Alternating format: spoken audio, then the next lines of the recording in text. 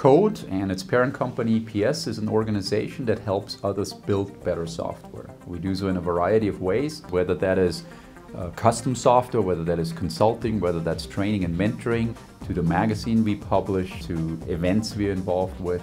Everything we do revolves around this basic idea of helping people with their software projects. What's unique about Code is our position in the industry. Uh, we are consulting and custom software company, but we also do a lot of training. We have a lot of involvement in various community efforts, ranging from small community events such as user groups all the way up to major conferences and the largest events in the industry. Uh, we are, of course, the publisher of the magazine and thus have a lot of access to a wide list, or a wide range of authors. We are involved in a variety of insider groups. I myself am a Microsoft Regional Director, so I have access to the RD network. We have more Microsoft MVPs than any other company, so we have access to those networks. We are involved in strategic design reviews. And all these uh, different things combined put us in a very, very interesting position where we have access to a lot of different people, like authors. Uh, so while we don't claim to be the best at everything, uh, we do have access to people that are not just good at what they do, but that are the best and the world's leading experts at their individual fields. And that, of course, is an advantage we can pass on to our customers. Code covers a wide range of technologies in order to satisfy the needs of a modern business application and business systems. That includes, of course, various web platforms, whether it's a web app or a website. It includes cloud platforms, it includes on-premise. We also, and this is somewhat unique, build advanced Windows desktop applications.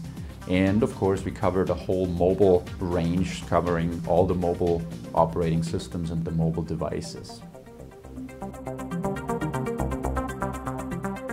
Code Framework is our framework for building business applications. It's something that we originally developed in-house. We then made it available to anyone who's interested. It's completely free, open source. Anyone can download it, anyone can use it even without our involvement. But we use it for most or, or many of our projects, although it's an optional component, of course. And the goal of Code Framework is to help people build advanced business applications more efficiently faster, yet at the same time build applications that are very, very flexible, whether that is an, a very advanced Windows app, whether that's an advanced service setup, whether that's an advanced web application or even mobile.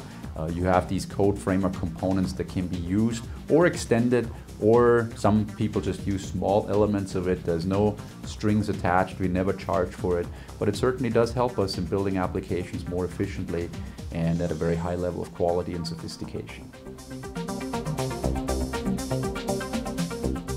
Code staffing, as the name implies, is a service that provides strategic staff augmentation. And as such, we provide people that can work alongside your own team, provide experience and expertise, and also manpower that you may need. But what's unique about it is that the people we provide through this service are not just the individuals, but they are people that have access to everything we do as code. And as such, they get trained by us they have access to all our resources, all our experts through the various networks. And as such, when you get a person through Code Staffing, you really gain access to all the resources and all the knowledge Code has to offer.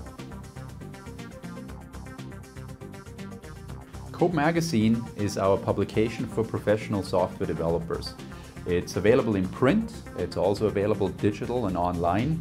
It covers a wide range of topics of interest for professional business application developers is written by a wide range of authors from all kinds of companies, our own, as well as other companies, including Microsoft and many others. And what makes it unique, we feel, is that it covers topics that are significant to developers today. So it's a little bit forward-looking, but we are always aiming to provide topics that are important to developers either today or for the decisions they make today.